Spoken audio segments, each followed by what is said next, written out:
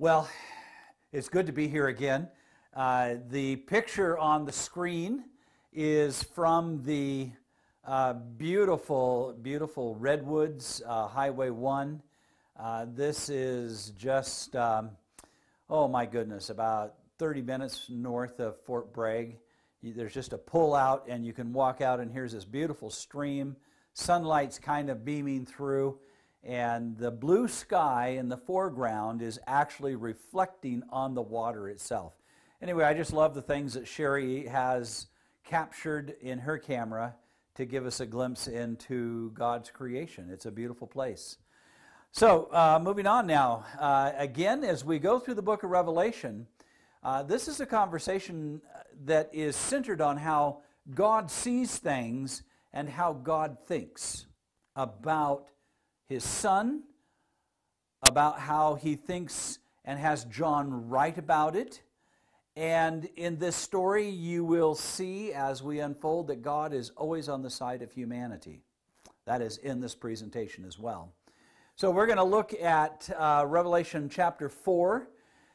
Here's what I want you to think about that as we went through those first three chapters, God calls John to attention in this vision and then he shows John Jesus walking amongst the candlesticks, which then we unfold in chapters 2 and 3 to discover that Christ is nurturing and caring and leading his church through. And what we learned in those seven churches is that there were individuals who took the churches in directions they should not have gone. And there's an old saying the more things change, the more they stay the same. And I will tell you that even today, there are men and women who try to redirect the church after their own vision and their own image of what they think it should be. But in the book of Revelation, we're taken back to see that Jesus Christ is the head of his church. He is the head of his church. We're going to read all of chapter 4 today.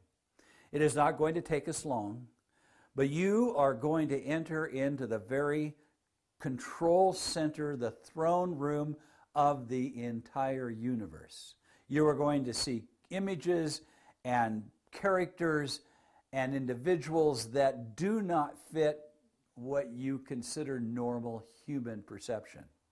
So your mind is going to be stretched and pushed, but keep in mind, you are entering into God's realm, and John is faithfully writing it down for you.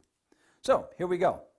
Um, oh, I'm sorry. This slide I said uh, the three chapters reveals earthly ministry. I was talking, not moving through the slide, so I'm going to skip that. Go right on to the next slide. It says, "Welcome to the control room of the universe."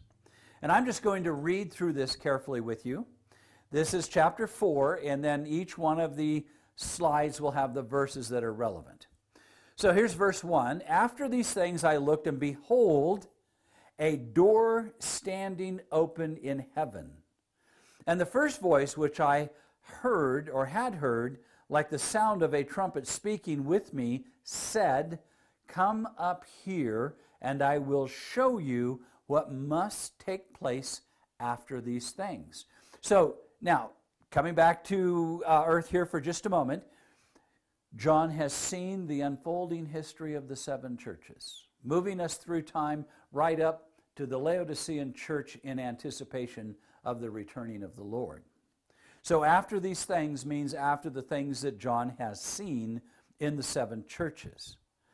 So, it says in verses 2 and 3 immediately I was in the Spirit, and behold, a throne was standing in heaven, and the one sitting on the throne, and he who was sitting was like a jasper stone and a sardius in appearance. And there was, on the next slide, a rainbow around about the throne like an emerald in appearance. Now, I, I just love what this artist has captured as they put the rainbow in, and then you can see the emerald tones of the rainbow going out. And, and by the way, they're very, the artist here is very faithful to what the words are saying to us, all right? In verse 4, it says, Around the throne there were 24 thrones, and upon the thrones I saw 24 elders sitting, clothed in white garments and golden crowns on their head. Now, I'm just going to come back and, and remind you two things about this white garment. One, the white garment is a gift of the righteousness of Christ that is given as a gift in the Laodicean church. Also, the white garment is what Jesus is wearing as he's ministering to his church. And in the Old Testament, it was the white garment, the robe that the priest wore as evidence of their ministry and the responsibility they carried. So please notice that these elders also are wearing not only the garment of the priest, but the garment that represents the righteousness of Christ himself. And I'll just let your imagination run with that. Let's go on to the next slide, verse 5. Out from the throne came flashes of lightning and sounds and peals of thunder, and there were seven lamps of fire burning before the throne, which are the seven spirits of God. Now, in this painting, what the artist has done is very interesting. Right in the foreground, at the bottom of that painting, is you can see they put a face to the seven spirits of God, and they put burning lamps right above the head of each one of those. Again, I'm just admiring the work of this particular artist because the challenge is sometimes to take these words and put them into a picture is very challenging. Notice that there are flashes of lightning and sounds and peals of thunder. I want you to know this is not some sleepy place. Now, growing up as a kid on our ranch with the uh, sheep and the cows and the dogs and the 12 white ducks we had, uh, one of the great joys of summer were the thunderstorms that came up out of the south.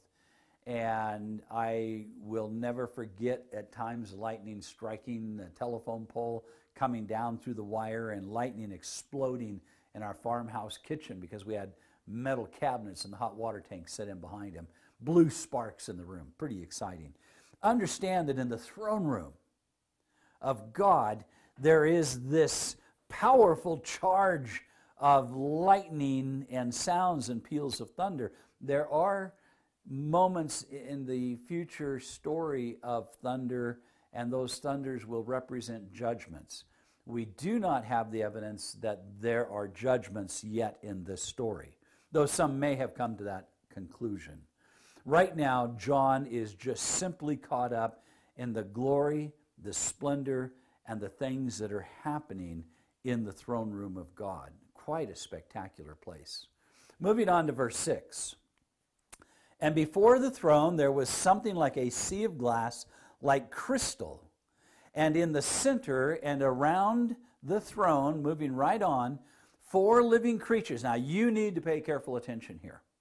Four living creatures, full of eyes in front and behind.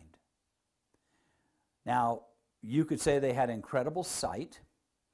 There are some who would say that that word for eyes could also be jewels, that they were totally covered in spectacular jewels. Uh, I'm not going to solve that dilemma for you. I just want to leave it between you and God as you are hearing these words speak of these creatures full of these things that appear to be eyes, according to the translators. And the majority of all translators use the word eye. So I'm just going to rest with that. Now, notice carefully, though, verse 7. The first creature was like a lion, and the second creature like a calf, and the third creature had the face like that of a man. Verse 7 in the next slide, and the fourth creature was like a flying eagle. And the four living creatures, each one of them having six wings, are full of eyes round, around, and within. So, if I were going to do a painting of this, I probably would be more likely to put, you know, semi-transparent gossamer wings on these creatures, first of all, instead of bird wings, because we sort of have this classic image of the wings of a bird. But there are so many creatures in creation that have gossamer wings. Because when John is seeing this, he can see the eyes all around and through these, these things that are on the surface of this creature. So, what do you do with a flying calf? What do you do with a eagle with six wings? What do you do with a lion with six wings? Now, in a moment, you're going to discover that these creatures, not only in the presence of throne, have animal like features described in them, but they also have a voice, a remarkable voice, a voice of worship and praise. Just pause and let that settle in for just a moment. There is nothing ordinary in the presence of God. Are you with me on that? There is nothing ordinary in the presence of God. Continuing on. And day and night they do not cease to say, Holy, holy, holy is the Lord God, the Almighty, who was and is and who is to come. Was means he who was was in the past. He who is is the one who is in the present, and he who is to come is he who is in the future. Very interesting language. Almost a way to describe the omnipresence of God in time. And it's worthy to study time because God's sense of time is nothing like us as human beings. We're now going to verse 9.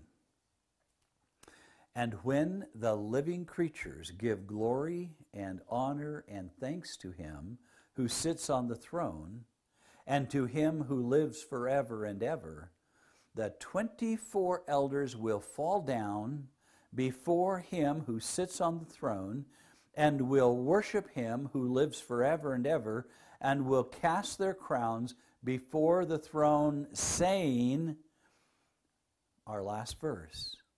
Worthy are you, our Lord and our God, to receive glory and honor and power. For you created all things, and because of your will they existed and were created. I want to come back to this concept, especially in this last verse, because as worship this magnificent worship, these creatures who are praising holy, holy, holy, and, and honor and glory, and they're just worshiping, and the elders who are getting up from their throne and casting their crowns down and kneeling before God and acknowledging His presence. At the heart of everything they are doing, it's because they owe their very existence to God Himself. I wonder if we would reverence each other more if we understood what was happening in the throne room of God. If we celebrated God as creator, would we value his creation at a greater level? Would we care more about the earth and the things on the earth that as the creator God has made them, would we not want to treat them with greater respect? So, what I'm challenging you is you go with John into the throne room of the universe. I want to challenge you with this issue. I want to challenge you with the reality is that everywhere you look around you, you are looking at the things of the Creator that exist by His will. Do you value and respect that creation? And when you look at other people, do you see them from God's point of view? As his children, the ones he brought into existence, the ones whom he loves, the one who he redeems? Do you see the world from the throne room of God differently? Does it create a deeper passion in your life for your fellow man? I, have a mantra, a saying that to me is the very fundamental truth of what we consider to be Christian religion, but I challenge this regardless of the religion you practice, and I ask it this way. Does your religion, the faith that you exercise, the faith that you live, does it make you kinder, more caring, more aware, and more thoughtful of the things and the people around you? Because I don't think you can go into the throne room of God where we have just gone by Scripture, by words from John. I just believe that if you have gone into that throne room and you do it in your worship every day, that you will leave there with a greater awe, a greater value, a greater respect for not only creation itself, but for the men, women, and children in the creation. Does your religion make you kinder? I say that if you go into the throne room of God, you come out totally different. Think about that. When you pray, you are taken by the Spirit into the very presence of God. Do you walk away from that prayer experience a different person? That is Revelation chapter 4. That is where it takes us. That is the challenge it leaves us. I pray that it will have a radical impact on your heart, on your life, on your family and your children, or your parents, or the people you will meet tomorrow. I pray that your experience in the throne room is like the elders, that you want to fall before the creator of the universe and acknowledge the goodness and the kindness and the grace that he extends us every day. And this is just the beginning. We have chapter 5 coming up next.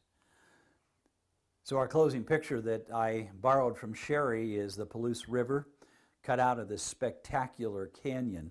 If you were to turn and look 180 degrees to the left, you would see this spectacular Palouse Falls uh, coming off those cliffs down into that great pool where this river has washed out this spectacular canyon.